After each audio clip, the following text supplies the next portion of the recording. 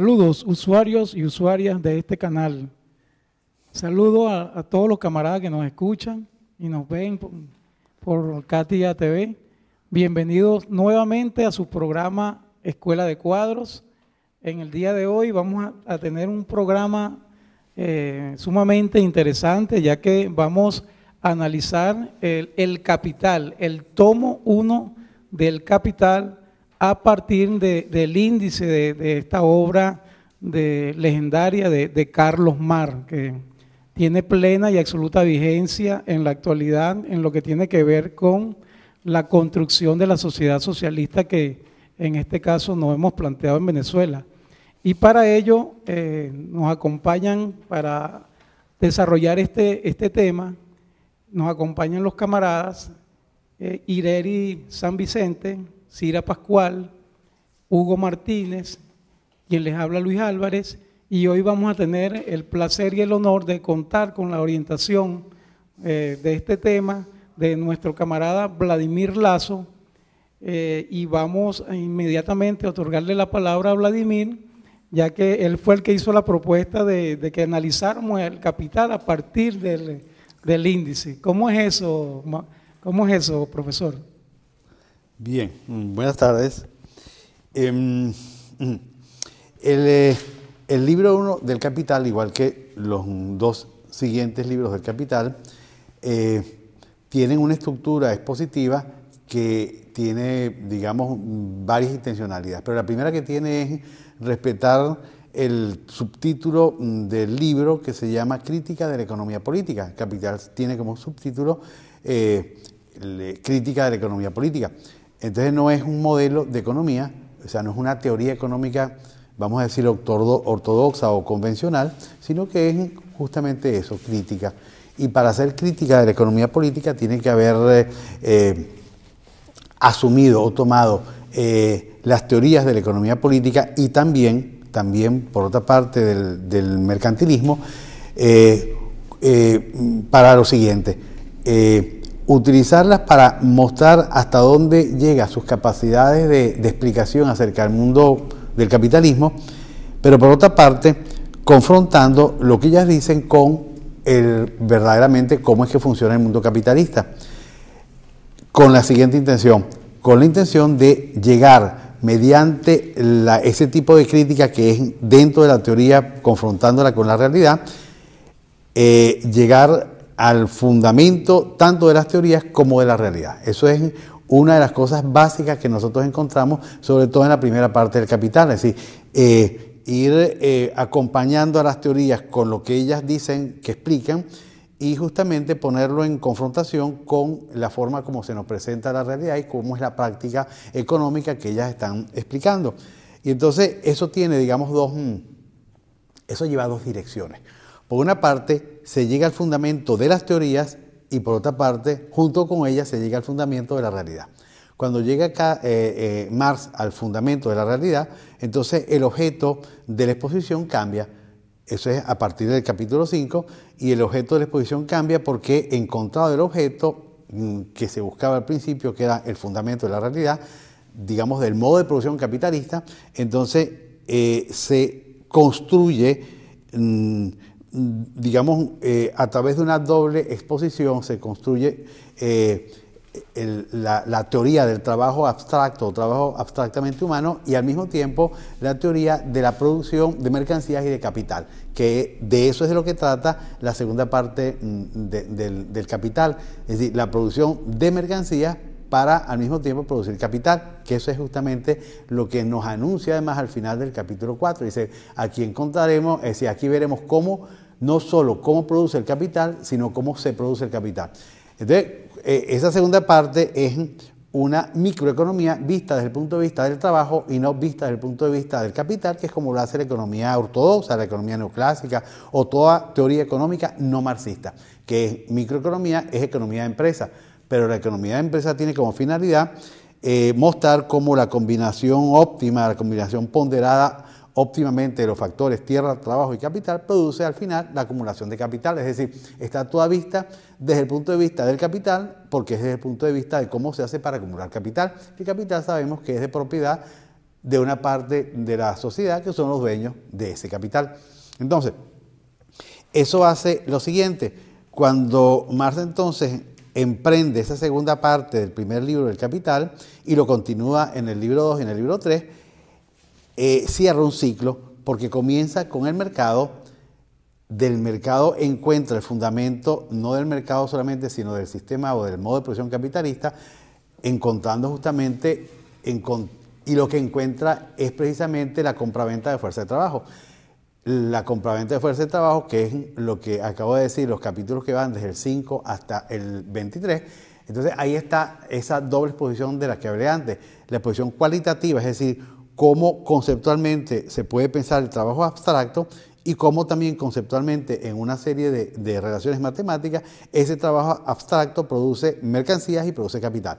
Cuando emprende entonces ese segundo camino, eh, habiendo empezado por el valor, es decir, por el mercado, va a la producción y de ahí nuevamente regresa al valor, es decir, al mercado. Y ese es precisamente lo que para Marx es el, método científico correcto, que no consiste solamente en decir estas formas sociales, el valor en este caso, tienen como fundamento en la compraventa de fuerza de trabajo, sino que encontrado el fundamento hay que regresar a la forma, porque si no, no sabemos si efectivamente ese fundamento lo es de esta forma, es decir, del mercado y del valor. Porque además la pregunta mm, del capital y de toda, eh, es decir, del capital entero, no solamente del primer libro, es la pregunta por el valor, porque la pregunta por el valor es aquella pregunta que interroga por qué el trabajo en una época de la historia, y solamente en esa época de la historia, existe socialmente, existe eh, como eh, objetividad social solo si se transforma en valor el trabajo mismo se transforma en valor cuando se vuelve mercancía fuerza de trabajo, que es lo que compra el capital o los capitalistas. Y al mismo tiempo el producto del trabajo se vuelve eh, cuantos de valor, cantidades de valor. Es decir, lo que se eroga en la producción como cantidad de trabajo es lo que se transa en el mercado como cantidad de valor. Entonces, eso cierra entonces un ciclo, un ciclo, digamos, eh, eh, un ciclo teórico de la economía clásica y, también cumple además el ciclo teórico que se plantea Marx cuando escribe El Capital, que es precisamente, se parte de la forma, porque las relaciones de intercambio son formales. Y son formales porque este marcador que tengo en mi mano vale tantos mm, diamantes o tantos mm, eh, pantalones o tantas cualquier cosa que sea. Y entonces el que tenga los marcadores y tenga los diamantes sabe que tiene la misma cantidad de valor, aunque no tengan cantidades diferentes de cosas, ¿no? Entonces las cosas se vuelven cantidades de valor. Entonces, el asunto es que en el capitalismo todas las relaciones son relaciones de valor, porque todas las relaciones son relaciones cuya intermediarios son mercancías. Entonces, la pregunta eh, de, Marx es, entonces, ¿por qué el valor? Porque justamente el valor es algo así como la, forma de la realidad en el capitalismo. Así, como desde, desde, Galileo Galilei, desde la ciencia moderna, eh, la naturaleza tiene como forma de explicación de ella las leyes, las fuerzas de la naturaleza, sus fuerzas, o sea, la naturaleza son un sistema de fuerzas eh, de las cuales lo que uno ve es solamente la forma exterior de la fuerza. Entonces, cuando uno estudia eh, ciencia, lo que estudia son estructuras matemáticas que son la representación de las fuerzas de la naturaleza, que son aquellas que actúan en la naturaleza y hacen que la naturaleza sea lo que nosotros vemos. Igual sucede con el capitalismo. Es decir, en la naturaleza el conocimiento es también formal, es informal, es abstracto. Cuando nosotros ah, estudiamos ciencia, estudiamos son estructuras formales, matemáticas y lógicas geométricas. Y esas estructuras son las que explican la naturaleza. En el capitalismo es la misma cosa, o sea, el capitalismo matematizó también las relaciones sociales de tal manera que las relaciones del capitalismo son también formales, son relaciones de valor. Entonces, la pregunta del capital es ¿por qué el valor? No, esa, la, pregunta no es, no es por el contenido del valor que se sabe que es el trabajo, sino por qué el trabajo, esa es la, la inversión de la pregunta que hace Mar, por qué el trabajo en una época de la historia se vuelve valor. Esa es realmente la pregunta. Porque el asunto es que como el capitalismo hace semejante cosa, que es transformar todo en valor, transforma al mismo tiempo toda la civilización que le precede en forma de mercancía. Cuando la transforma en forma de mercancía, se constituye realmente de forma plena la civilización capitalista, que es esta civilización dentro de la cual vivimos. Entonces, el capital tiene, creo yo, una de sus grandes vigencias es que está criticando el centro mismo de la constitución del capitalismo. Eh, eh, critica el centro mismo porque lo que está eh, es mostrando que el modo de producción capitalista se fundamenta en, en el trabajo asalariado, se fundamenta en la compra-venta de fuerza de trabajo y el que compra fuerza de trabajo paga un salario. Y ese salario es precisamente lo que vuelve ese trabajo comprado trabajo asalariado. Entonces, el capital tiene esa, vamos a decir, esa forma de que uno lo puede, tiene muchas más cosas, pero vuelto, digamos, en su estructura básica es lo que estoy diciendo, ¿no? Entonces, si ustedes quieren, comenzamos, digamos, a, hacer, digamos, algún tipo, digamos, de, de explicación gráfica, que creo que normalmente son bastante pedagógicas, vamos a decir así. Como soy profesor, eso es lo que más o menos... Entonces, uno puede dividir el primer libro del Capital en tres, en tres partes de acuerdo al objeto del que tratan. La primera parte es aquella que ocupa los cuatro primeros capítulos. El 1, el 2, el 3 y el 4. Esa es, esos son los capítulos de la primera parte que trata sobre los fenómenos del intercambio.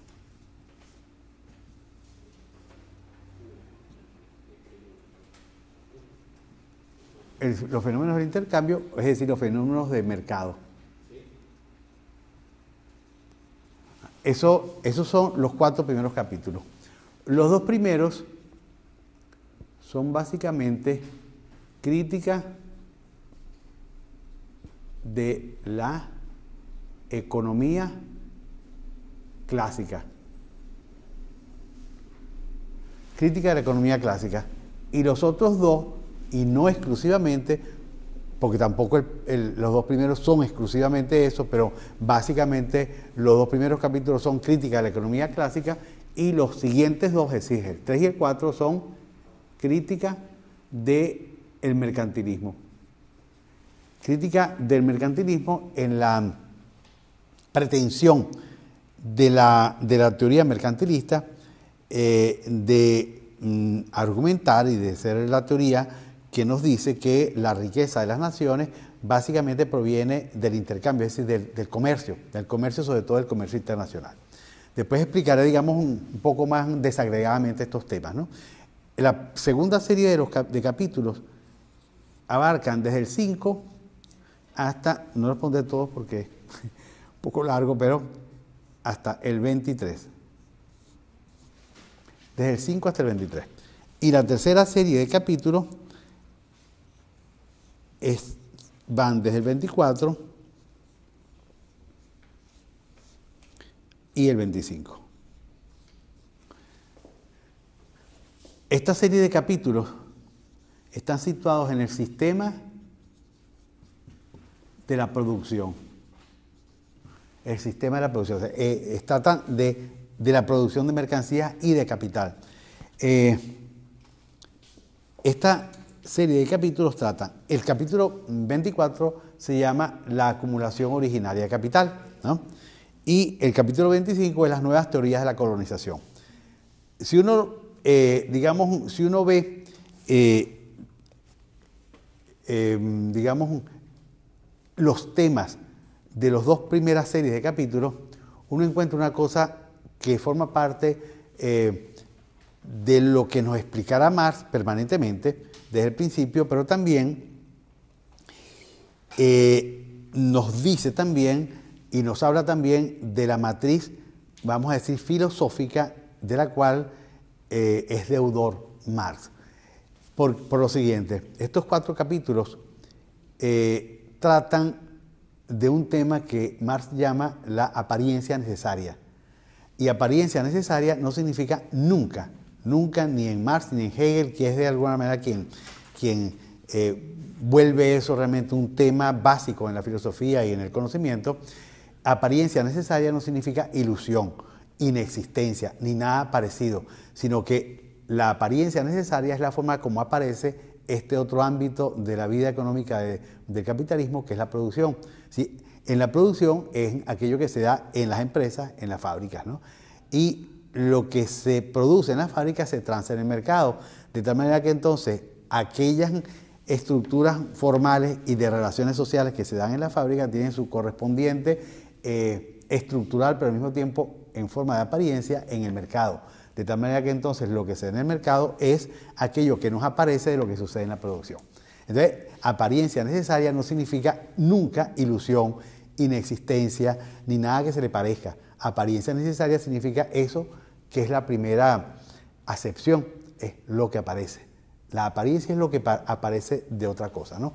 Entonces, eh, entonces nosotros, dicho esto, dicho, el, dicho que el mercado, que son los fenómenos de intercambio, y eh, que son justamente la apariencia, y en cambio los capítulos del 5 al 23, al, sí, al 23 son el sistema de la producción, entonces nosotros podemos también decir otra cosa. Eh, una cosa que para que, se, para que sea clara de una vez, es decir, para poder intercambiar hay que producir. Y para poder intercambiar permanentemente hay que producir de tal manera que cada una de las unidades productivas produzcan justamente un excedente por encima de las necesidades de los productores. Eso es una cosa básica. ¿no? De lo contrario, no hay manera de que se, que se constituya un sistema del intercambio que es el mercado.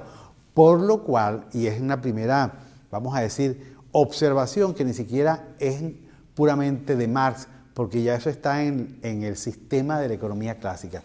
Es decir, la economía clásica que comienza con William Petty ya asume una correspondencia entre dos subsistemas del sistema capitalista, que es el sistema de la producción y el sistema del mercado. y esto lo pongo porque tiene, es pertinente en estos dos primeros capítulos, sobre todo el primero. Una de las preguntas que se hace Petty, William Petty, que es realmente un tipo notable, ¿no? porque un poco más de un siglo antes de Adam Smith, se hace la pregunta realmente, y eso pasa por ser algo así como el enigma de la mercancía, ¿qué es lo que realmente intercambiamos cuando intercambiamos productos del trabajo como mercancía? Porque evidentemente no son esos productos del trabajo, porque son todos entre ellos diferentes en, todas, en todo sentido, son físicamente eh, diferentes, eh, son eh, físicamente de aspecto diferente, de usos diferentes, de utilidad diferente, además en cantidades diferentes, en, en volúmenes, todo es diferente. O sea, ¿cómo se hace para que se hagan como iguales, se intercambien como iguales?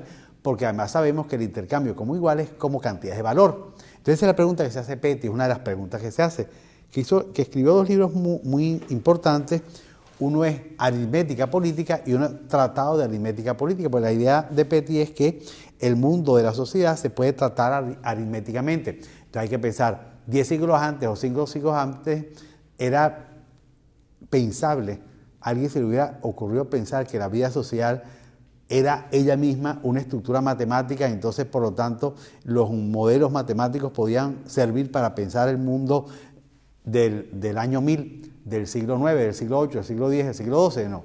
Sí, eso es un asunto básicamente moderno y es ligado justamente a la producción capitalista. Entonces se hace la pregunta y la respuesta que se da Petty es precisamente que aquello que hacemos aquí, que en apariencia es irracional, porque estamos igualando cosas en forma de valor y esas cosas que igualamos son todas diferentes, eso es, eso es algo que no se comprende, digamos, es parte del automatismo que todos tenemos en la mente. Lo hacemos automáticamente por una especie como de sentido común mercantil que el capitalismo nos, nos introduce, nos interioriza en nuestra mente de tal manera que todo lo que sucede en el mundo de las relaciones capitalistas son como normales, son como si fueran parte de la naturaleza. Entonces tenemos ese otro sentido común, que es el sentido común mercantil. Entonces cuando Petty detecta esa enigma, él mismo se lo responde diciendo que, yo voy a hacer un pequeño gráfico que es muy tonto, ¿no? Si lo que sucede aquí, que es en el intercambio, se resuelve aquí, que es en el sistema de la producción, porque dice, lo que intercambiamos aquí como mercancía son cantidades de trabajo. Entonces, las cantidades de trabajo que, que se produce, con las que se produce lo que se intercambia aquí, porque cada uno de estos objetos tiene cantidades, vamos a decir, cuotadas de trabajo cantidades discretas de trabajo para producir cada objeto que se intercambia. Entonces piensa Petty que las cantidades discretas de trabajo que se erogan en la producción, en el intercambio, si en el mercado, son cantidades discretas de valor. Entonces son mil bolívares, supongamos, por este marcador, y entonces estos mil bolívares son eh, resultado 1, 2, 3, 4, te llegamos hasta mil por una, dos, tres, cuatro cantidades de valor, claro, eh, haciendo una, simplificación efectivamente, pero lo que se eroga aquí como cuotas de trabajo es lo que se transa aquí como cuotas de valor. Eso, eso lo piensa Adam Smith, perdón, disculpen, lo piensa William Petty y por eso, de alguna manera, para Marx, William Petty es el que inicia realmente el programa, el, ah, Marx no lo llamaba así, es una manera moderna de decir, pero el programa eh, teórico de la economía clásica, que comienza con Petty y realmente termina con Marx, que, es quien le da el nombre, quien lo termina, lo acaba, lo, lo, termina porque lleva la economía, todas las teorías económicas a su fundamento y llevando las teorías económicas a su fundamento teórico, que es el trabajo eh, asalariado, lleva también en el mismo proceso y en el mismo ritmo, lleva conociendo esos desmontajes que hace en estos cuatro capítulos, llega en este último capítulo de esa primera parte, que es el capítulo 4, en la tercera parte del capítulo 4, que se llama compra-venta de fuerza de trabajo, llega justamente al fundamento de la teoría y del mundo de la economía. Profesor, vamos a ir a un corte pronto. Eh, nos estamos adentrando en, en, el capital a partir del índice eh, cuando regresemos eh, vamos a continuar con esto, pero yo también le quería hacer una pregunta específicamente en cuanto a cuál es la, la, diferencia entre el método de investigación y el método de exposición en Marx. Entonces vamos a un corte y de regreso continuamos profundizando en el capital de Marx, una exposición a partir del índice.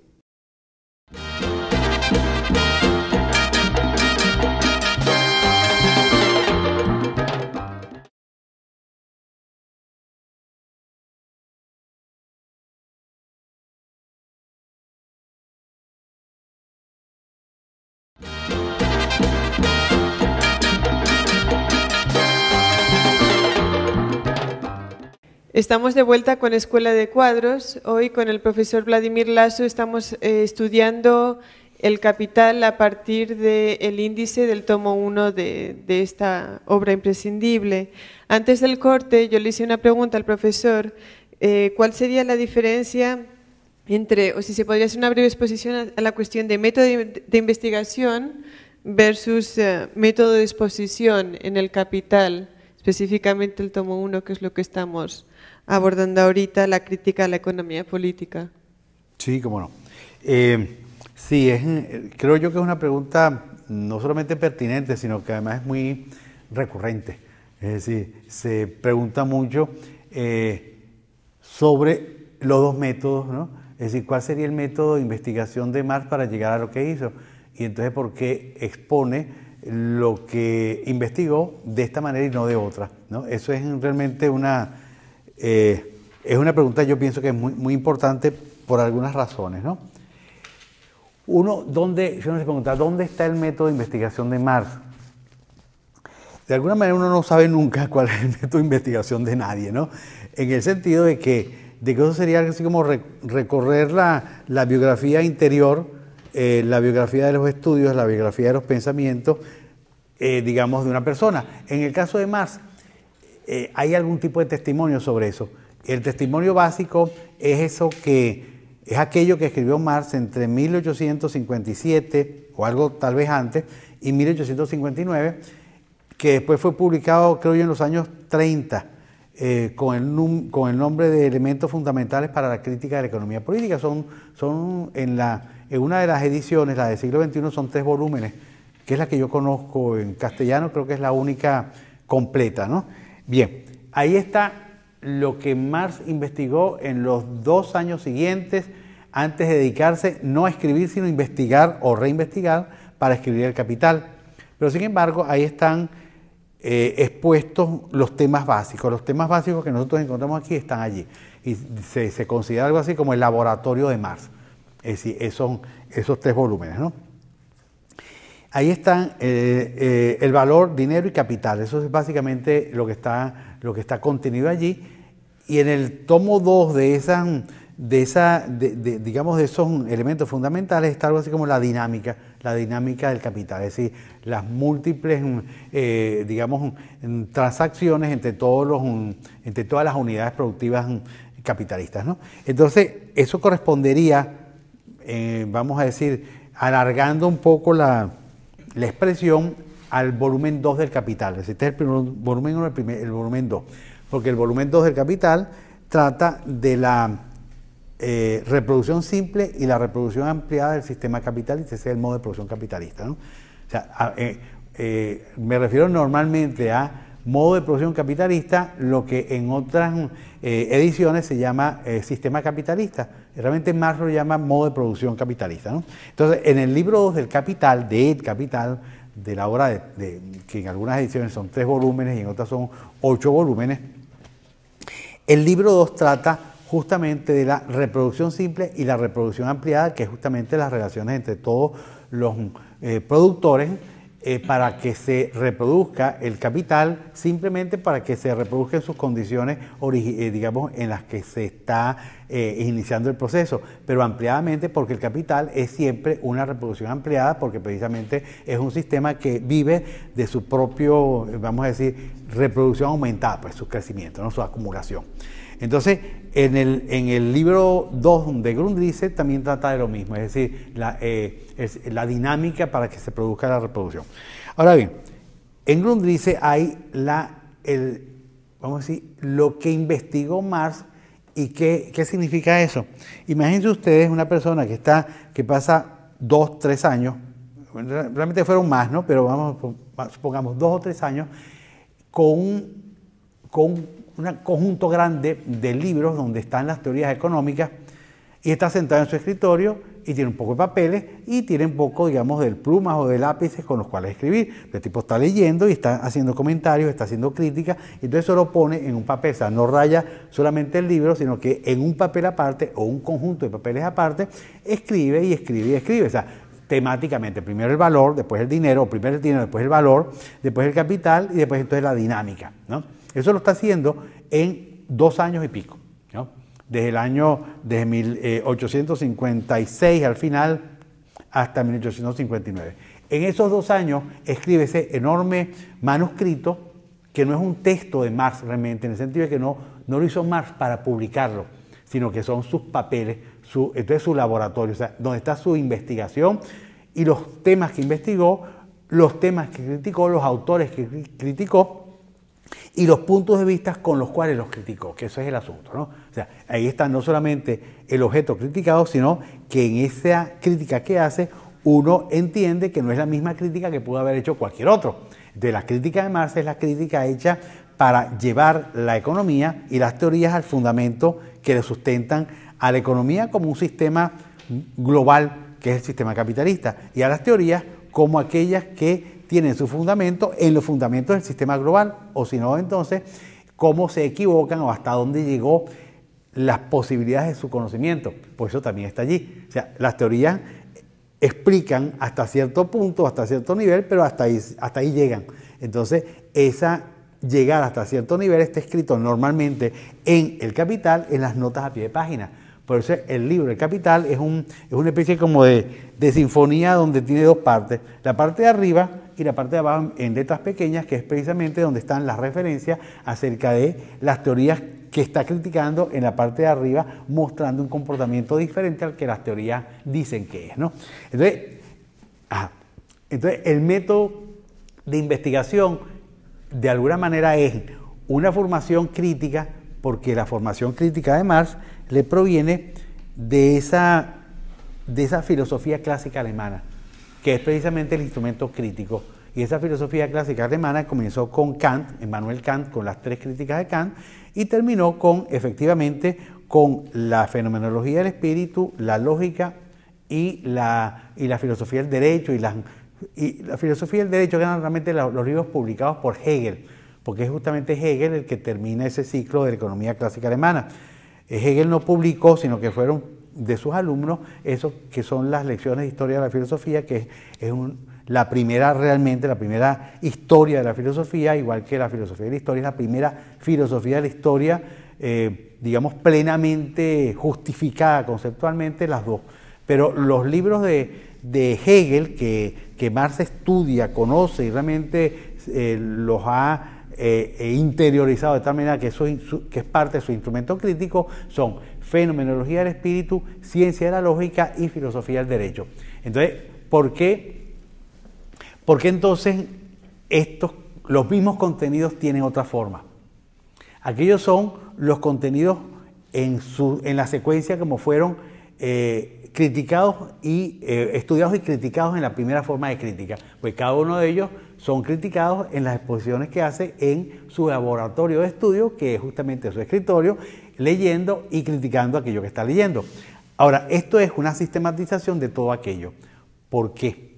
Porque eh, el primer, esta primera serie de capítulos del Capital, que son del 1 al 4, tratan de fenómenos del mercado y nunca se sale más de los fenómenos del mercado en las explicaciones. Cuando se sale es porque hay eh, opiniones de la economía clásica o del mercantilismo en los cuales están diciendo que lo que él está tomando como objeto de análisis aquí ellos lo explican. Entonces, la explicación que dan los mercantilistas o la economía clásica uno la encuentra en las notas a pie de página. Entonces, la única veces en que se sale del mercado es llevado por las teorías, no porque, el no porque la intencionalidad del texto sea mezclar o salirse de un lugar para, para, justamente justificar lo que está diciendo. Cuando se sale es porque las teorías lo llevan, las teorías, vamos a decir, competidoras, es decir, todo el sistema de la economía clásica o el mercantilismo.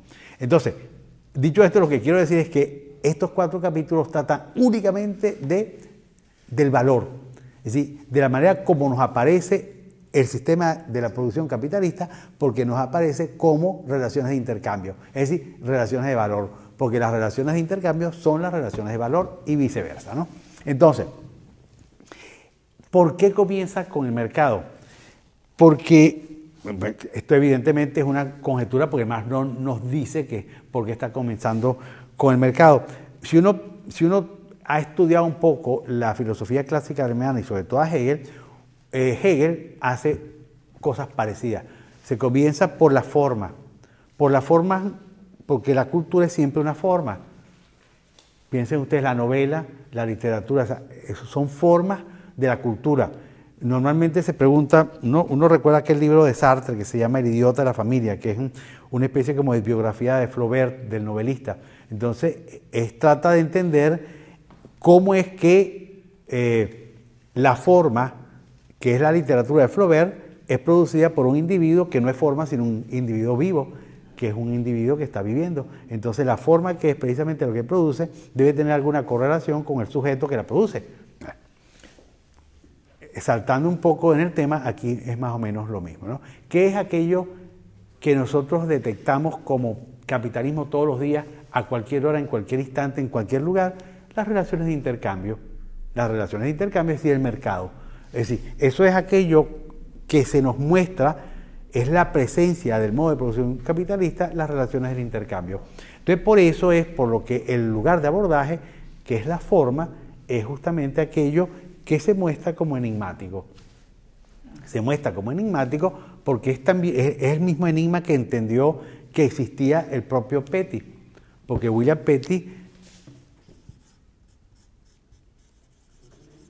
Petty,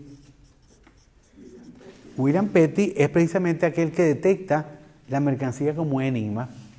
Le resulta enigmático el intercambio de objetos desiguales como si fueran iguales y no iguales como objetos, sino iguales como cantidades de valor. Cantidades es una cosa que no se ve porque aquí, por más que uno lo vea, no encuentra el valor. Sin embargo, los intercambiamos como cantidades de valor por cualquier mercancía en la medida en que contenga la misma cantidad de valor que contiene este. Entonces, eso es el enigma que uno de los enigmas de Petty y que es efectivamente un enigma, porque lo, lo, hacemos automáticamente, pero no sabemos por qué lo hacemos. ¿no? Entonces, despejado por Petty el enigma, dice, bueno, no, es que lo que hacemos es intercambiar cantidades de trabajo como cantidades de valor, pero cuando se habla entonces de cantidades de trabajo, eso no se resuelve aquí. en el proceso del intercambio, sino que eso se realiza en el proceso de la producción.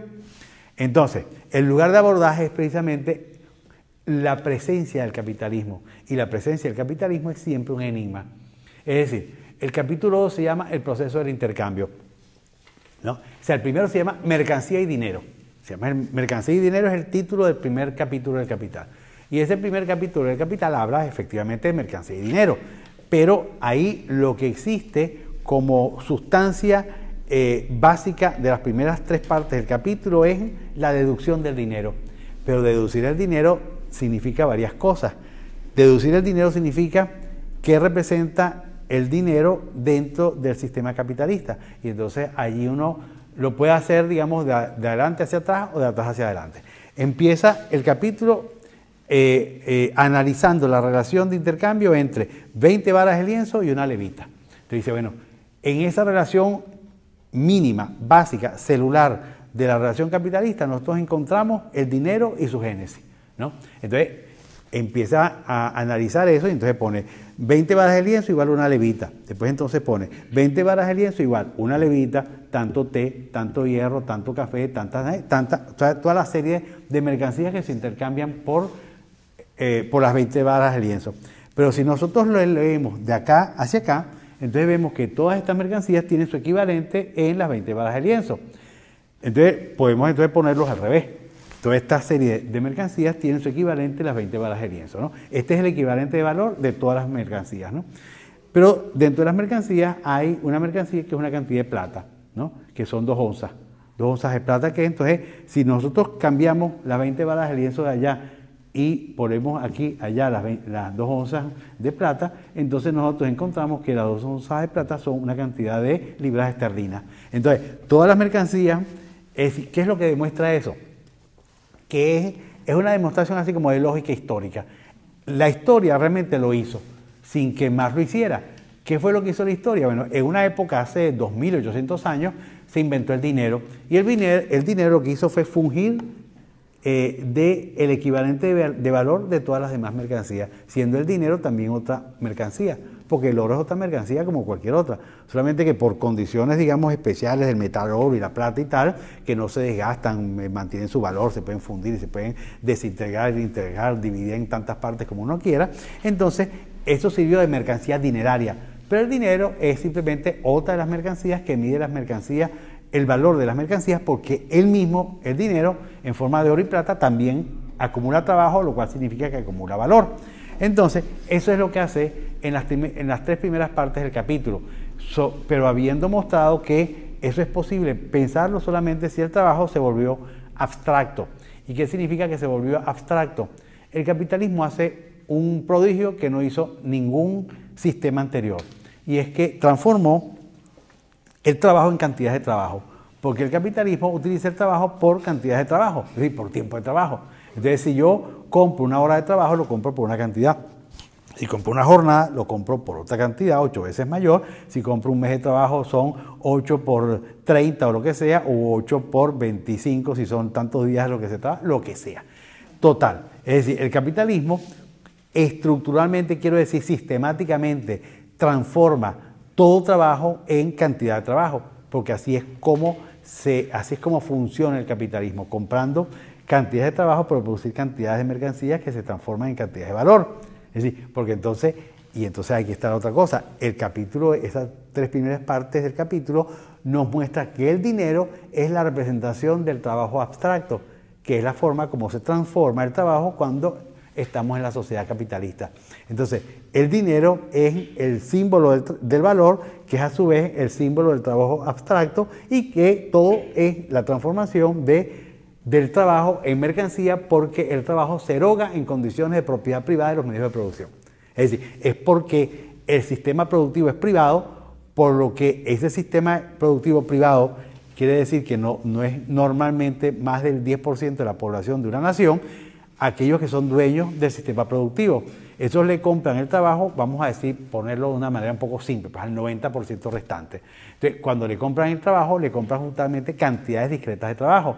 Y esas cantidades discretas de trabajo, todos los empresarios saben cuánto le cuesta cada empleado y cuánto le produce cada empleado. Eso lo sabe todo, todo empresario. Esa es uno de los asuntos básicos de la contabilidad de costos de una empresa. ¿Cuánto cuesta cada uno de los empleados y cuánto le produce? Si el empleado le cuesta lo mismo que le produce, se sale de él. Hay, tiene que producir más de lo que le produce, eso es, eso es obvio, eso es una cosa que está en toda contabilidad, pero esa es la base del asunto, porque solamente porque se da esa posibilidad es por lo que el sistema se puede reproducir ampliadamente, se puede acumular.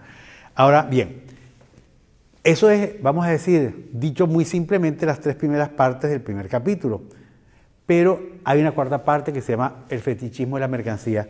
El fetichismo de la mercancía es, yo lo voy a decir con una frase que es posible que no sea en el momento muy comprensible, pero es posible que después lo sea. Es decir, el fetichismo de la mercancía es eh, algo así como, uno puede decir que es la estructura objetiva de toda subjetividad en el mundo capitalista. Es decir, el hecho de que todos tengamos un sentido común, que es ese sentido común mercantil, y como lo tenemos todos, es precisamente la estructura objetiva, porque es de todo, de toda subjetividad que vive en el capitalismo. O sea, toda persona que vive en el capitalismo tiene en su mente un sexto sentido, que es justamente el sentido común mercantil, que hace que, toda, que todo lo que hagamos en el mundo no tengamos que preguntar, sino que lo hacemos automáticamente cuando vamos a un banco, cuando vamos a comprar. Nosotros vamos a comprar y no nos vamos a coger las cosas que están en la tienda porque sabemos que viene la policía y nos, meten en la cárcel. En cambio nosotros automáticamente sacamos los reales del bolsillo y los pagamos. Pero eso es un automatismo social. Eso no es algo natural, eso no forma, no forma parte de la naturaleza que las cosas deban ser compradas y que las cosas deban ser compradas y que deben ser intercambiadas como valores, ¿no? Eso no existe en el mundo natural, eso existe en, el mundo social.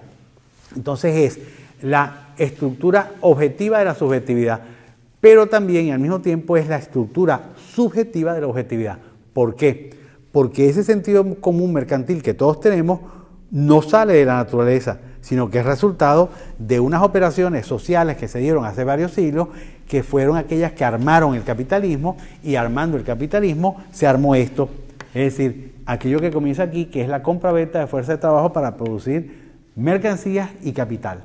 Y como eso se volvió la práctica y la rutina de la reproducción de la sociedad en el capitalismo, en todas las sociedades capitalistas, entonces esa rutina que no sale de la naturaleza porque no la produce la naturaleza, sino que la produce una relación social determinada, que es aquella en la que los dueños de los capitales compran trabajo para producir mercancías y producir capital, y eso es lo que está aquí, y eso es generalizado en toda sociedad capitalista. Entonces, esa forma de ser de la sociedad en general es también una estructura nacida en la subjetividad, pero plasmada en el mundo objetivo. Entonces, por lo tanto, el fetichismo de la mercancía es también lo otro, es decir, la estructura subjetiva de la objetividad.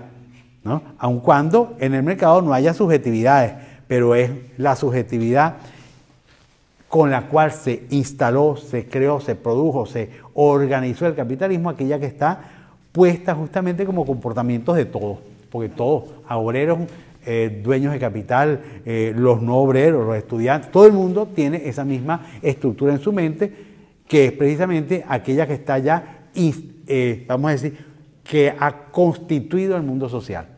Profe, solamente nos quedan un par de minuticos para... Yo quería hacerle una, última pregunta, específicamente por qué la necesidad de leer el Capital. La semana que viene continuamos con el estudio de, del índice, específicamente por qué leer el capital, porque una persona, por qué Marx, preocupado con las injusticias del mundo, asume el estudio eh, o la crítica de la economía política y recordarles a todos los compañeros y compañeras que nos escuchan que este es un, un programa que va a continuar la semana que viene y que nos continuaremos adentrando en ese tema. Bien, ¿por qué, por qué Marx, en lugar de hacer moral, hace crítica a la economía? Es de alguna manera eso, ¿no? ¿Por qué en lugar de, de, sí, de ser, digamos, un... En lugar de hacer de su tema el tema eh, resultado de esto y no, y no digamos, mm, eh, eh, hacer de esto el centro del asunto, ¿no? Em, bien. Marx mismo en algunos, en algunos casos lo dice, ¿no? Dice, bueno, yo estudiando derecho, que fue una de las críticas que hizo Marx al principio, la crítica de la filosofía del derecho de Hegel, dice haber entendido que la radiografía del derecho no se encuentra en el derecho, sino que se encuentra en la economía. Es decir, cuando encuentra que en el derecho aquello que existe es de alguna manera la transformación del Estado en el sujeto de la vida social, en lugar de ser el predicado, es decir, el resultado, en la filosofía del derecho de Hegel nos aparece en, en muchas oportunidades el Estado como aquello que es de lo que se deriva la vida social, es decir, la estructura misma de la sociedad. Entonces se hace esa, esa pregunta y entonces hace la crítica de la filosofía del derecho de Hegel. Pero el mismo Marx entiende, y eso fue Coletti, Lucho Coletti, un tipo muy importante italiano marxista, después se volvió una cosa diferente, pero Coletti dice, bueno, efectivamente cuando Marx hace eso, el libro se llama eh, Marx, eh, Hegel y el marxismo, se llama, y está editado por la Universidad Central, por la biblioteca. Entonces se hace, se hace la, eh, la observación Coletti, que dice, bueno, efectivamente es cierto, en la filosofía del derecho de Hegel, el Estado aparece algo así como aquello de lo cual emana la sociedad en su estructura, cuando es al, es al, revés, es decir, es la sociedad que con sus relaciones produce el Estado. Entonces el mismo Coletti, mmm, recorriendo a Hegel y a Marx, dice que efectivamente es así. En la sociedad capitalista existe una inversión. La inversión consiste en que, igual que en las ciencias físico-naturales, la inversión consiste en que eh, el predicado se vuelve sujeto y viceversa. Es decir, el predicado de la naturaleza son lo que uno dice de ella como fuerzas naturales y la estructura matemática que la explica. Entonces eso se vuelve el sujeto del conocimiento, en lugar de ser el sujeto del conocimiento la naturaleza misma. Entonces, el sujeto es las estructuras matemáticas. En la sociedad capitalista es igual. Es decir, el Estado, que es algo así como en donde están eh, concretadas todas las relaciones, se vuelve entonces también para un pensador como Hegel, y entonces porque dice Coletti, diciendo que más lo dice, que es verdad, es que en la sociedad capitalista funciona la cosa así. Los poderes constituidos que son que se vuelven formalidad son los que determinan la vida en la sociedad. Bueno, lamentablemente hemos llegado al final de nuestra escuela de cuadro por el día de hoy. Agradecemos al colectivo que nos acompañó, al profesor Lazo, y le recordamos a los camaradas, los colectivos que quieran hacer contacto con nosotros, pueden hacerlo a través de nuestro correo electrónico escuelacuadro.gmail.com y por la página web pueden bajar todos estos programas a través de www.catiatv.org. Agradecemos a los camaradas Levi Madrid y Aureliano González, quienes estuvieron en las cámaras, todos bajo la dirección de Reinaldo Maldonado. Hasta la victoria siempre y la próxima semana continuaremos con el profesor analizando el capital a partir del índice.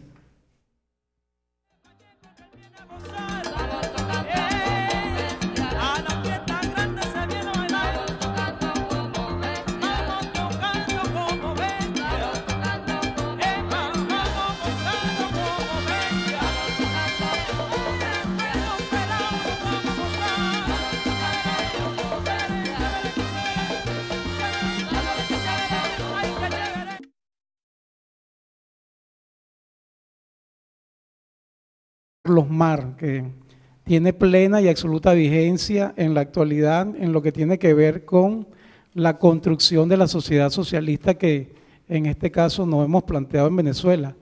Y para ello eh, nos acompañan para desarrollar este, este tema, nos acompañan los camaradas eh, Ireri San Vicente, Cira Pascual, Hugo Martínez, quien les habla Luis Álvarez, y hoy vamos a tener el placer y el honor de contar con la orientación eh, de este tema de nuestro camarada Vladimir Lazo eh, y vamos a inmediatamente a otorgarle la palabra a Vladimir, ya que él fue el que hizo la propuesta de, de que analizáramos el capital a partir del, del, índice. ¿Cómo es eso, cómo es eso, profesor?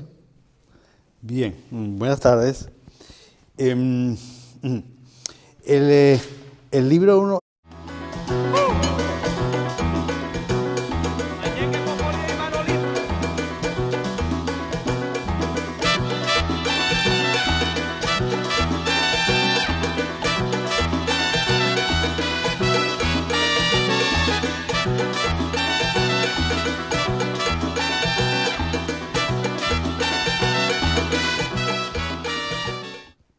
Saludos usuarios y usuarias de este canal. Saludos a, todos los camaradas que nos escuchan y nos ven por, por Katia TV. Bienvenidos nuevamente a su programa Escuela de Cuadros. En el día de hoy vamos a, tener un programa eh, sumamente interesante ya que vamos a analizar el, el capital, el tomo 1 del capital a partir del índice de, esta obra de, legendaria de, de. De la exposición cambia, eso es a partir del capítulo 5, y el objeto de la exposición cambia porque encontrado el objeto mm, que se buscaba al principio, que era el fundamento de la realidad, digamos, del modo de producción capitalista, entonces eh, se construye, mm, digamos, eh, a través de una doble exposición, se construye eh, la, teoría del trabajo abstracto o trabajo abstractamente humano y al mismo tiempo la teoría de la producción de mercancías y de capital, que de eso es de lo que trata la segunda parte mm, del, capital, es decir, la producción de mercancías para al mismo tiempo producir capital, que eso es justamente lo que nos anuncia además al final del capítulo 4. Dice, aquí encontraremos, es decir, aquí veremos cómo, no solo cómo produce el capital, sino cómo se produce el capital. Entonces, eh, esa segunda parte es una microeconomía vista desde el punto de vista parte, confrontando lo que ellas dicen con el, verdaderamente cómo es que funciona el mundo capitalista. Con la siguiente intención, con la intención de llegar mediante ese tipo de crítica que es dentro de la teoría, confrontándola con la realidad, eh, llegar al fundamento tanto de las teorías como de la realidad. Eso es una de las cosas básicas que nosotros encontramos, sobre todo en la primera parte del capital, es decir, eh, ir eh, acompañando a las teorías con lo que ellas dicen que explican y justamente ponerlo en confrontación con la forma como se nos presenta la realidad y cómo es la práctica económica que ellas están explicando. Y entonces eso tiene, digamos, dos, mm, eso lleva dos direcciones. Por una parte, se llega al fundamento de las teorías y por otra parte, junto con ella se llega al fundamento de la realidad. Cuando llega acá eh, eh, Marx al fundamento de la realidad, entonces el objeto del capital, igual que los dos siguientes libros del capital, eh, tienen una estructura expositiva que tiene, digamos, varias intencionalidades. Pero la primera que tiene es respetar el subtítulo mm, del libro que se llama Crítica de la Economía Política. Capital tiene como subtítulo crítica de la economía política. Entonces no es un modelo de economía, o sea, no es una teoría económica, vamos a decir, ortodoxa o convencional, sino que es justamente eso, crítica. Y para hacer crítica de la economía política tiene que haber eh, eh, asumido o tomado eh, las teorías de la economía política y también, también por otra parte del, del mercantilismo, para lo siguiente utilizarlas para mostrar hasta dónde llega sus capacidades de, explicación acerca del mundo del capitalismo, pero por